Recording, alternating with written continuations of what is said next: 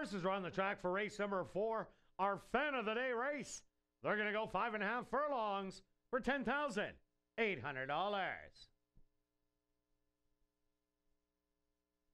Number one is Little Miss Zach, owned by Darren J. and Stephanie Nieswag, trained by Lise Pruitt with Chavi and Chow. Number two is By Num Sun, owned and trained by Jared Brown, Alex Cruz aboard. Number three is Have a Nice Day, owned by Tijuana Racing Stables, trained by Juan Pablo Silva with Ronald Alley. Number four is Katie's Champ, owned and trained by Shelley Brown, and Antonio Whitehall aboard. Number five is Ronnie Rocket, owned by Bob and Margaret Crockett, Hillside Farms, and Wayne Anderson, trained by Stephen Gaskin with Tyrone Nelson. And rounding out the field is number six, Say It's Not So, owned by Barry Arneson and Don Schnell, trained by Michael Nault with Kayla Pizarro.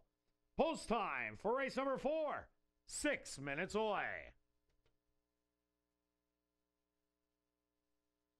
At the post.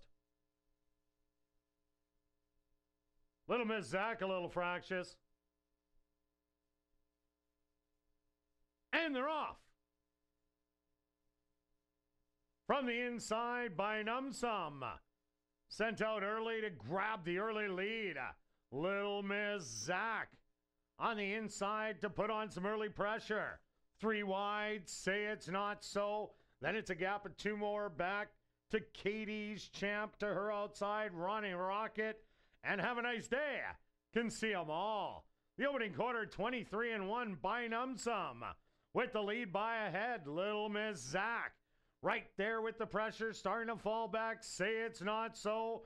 Making a good move from third to second. Katie's champ roused up in fourth. And then it's back to Ronnie Rocket in the trailer. Have a nice day. They hit the head of the lane. Bynum some with the lead by a length. Say it's not so. Back to second. Katie's champ on the far outside at the 16th pole. Bynum some went to the front end and is gonna get the picture taken in here. Say it's not so, second best. Close for third between Have a Nice Day and Katie's Champ.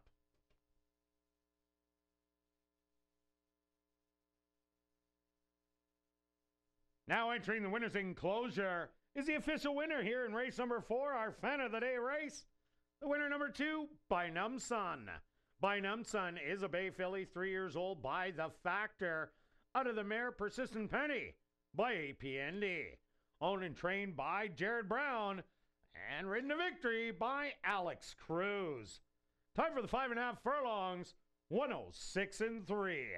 Congratulations goes out to jockey Alex Cruz, who scores the natural hat trick three in a row for jockey Alex Cruz.